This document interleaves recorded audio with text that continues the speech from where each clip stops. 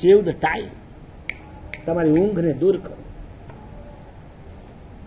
કેટલો સમય ઊંઘમાં? એક ભાઈ મારી પાસે એના છોકરાને લઈને આવ્યા અને ફરિયાદ કરતા હતા, મારા સાહેબ, આઠ વાગ્યા પહેલા ઉઠતો નથી. છોકરો મને કહે કે, પપ્પા, ખોટું બોલે છે. તમે બેવ સામ સામે છો. વાદી ને પ્રતિવાદી બોલો, કોણ સહી હે, કોણ જૂઠ હે? મને કે હું તો છ વાગે ઉઠી જાઉં છું. મેં આઠ કે છે, આ છ કે છે. મને કહે કે હું તો છ વાગે જ ઉઠી જાઉં, પપ્પા ખોટું બોલે છે. ત્યારે પપ્પા મને કહે, ઉઠે છે, કરો, પણ પછી બે કલાક હું કરે છે? તો કે પથારીમાં આળોટિયા મારું છું. પાછો ફિશિયારી મારે છે કે હું છ વાગે ઉઠું ઉઠીને કર્યું હું તે? સેવ ધ ટાઈમ તમે કહો છો અમને પૂજાનો સમય નથી. તમે કહો છો અમને સામાયિકનો સમય નથી. તમે કહો છો ગાથાનો સમય નથી. હું હમણાં તમને કાઢીને આપી દઉં. રાતનો એક કલાક વહેલા સુઈ જાઓ. સવારે એક કલાક વહેલા ઉઠો. આ એક કલાક તમારા માટે જીમમાં જવા માટે ટાઈમ છે.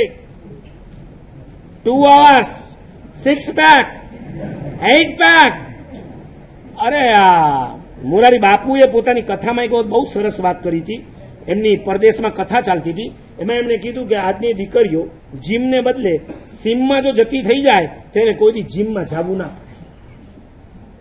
હવે સીમ એ પરદેશની અંદર ચાલતું હોય એટલે ઓલા બેન ઊભા થયા. બાપુ, મારી દીકરી એક સીમ નહીં ડબલ સીમમાં જાય. નિયમ જાણો તમને. સીમ એટલે હું? હે? ખેતર. અરે જીમમાં એને જવું પડે જેને કોઈ દી સવારે ઉઠીને ઘરના કામ નથી કરવા. ઘરના કામ કરવાના ચાલુ કરી દો જિંદગીમાં ક્યારે જીમમાં નહીં જવું પડે. લોકડાઉનમાં કરતા હતા ઘરના કામ કર્યા કે ન કર્યા? કેવી ફિટનેસ રહેતી હતી ને? એ અલગ વાત છે કે છ છ ટાઈમ ઠોક્યા જ કરતા હતા. વધુ પડતી ઊંઘથી વધારે ફ્રેશ થવાય એવું મત સમજજો. લખી રાખો, વધુ પડતી ઊંઘ લેવાથી વધારે થાક લાગે છે. નોર્મલ છ થી સાત કલાક ઇનફ ઉર્જાઓ રવિવાર હોય કે સોમવાર હોય બધા જ દિવસ સરખા જ. શેના આઠ ને દસ દસ કલાક સુધી સુતા રહ્યો છે? અને પછી કેવું છે? અમારી પાસે સમય નથી.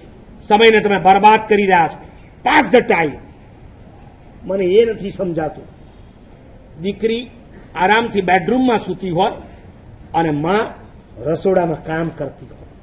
વીસ, બાવીસ અને ચોવીસ વર્ષની ઉંમરની છોકરી બેડરૂમની અંદર સવારે આઠ વાગ્યા સુધી સૂતી રહી. એના માટે સારું છે આજ નહીં તો કાલ કાલ નહીં તો પરમ દિવસે લગ્ન થશે. સાસરે જવું પડશે અને ગયા પછી કઈ સાસુ તમને કહેવાય? હુઈ જા બેટા, હુઈ જા.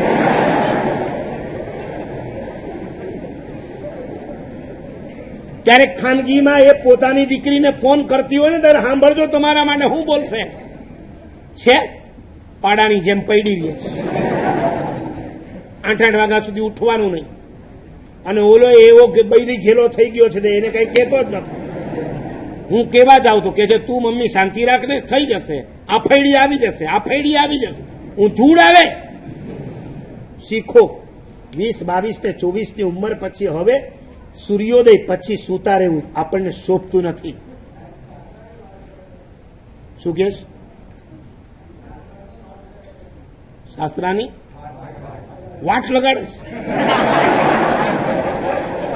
હું વાત સમજો એ વાટ લગાડે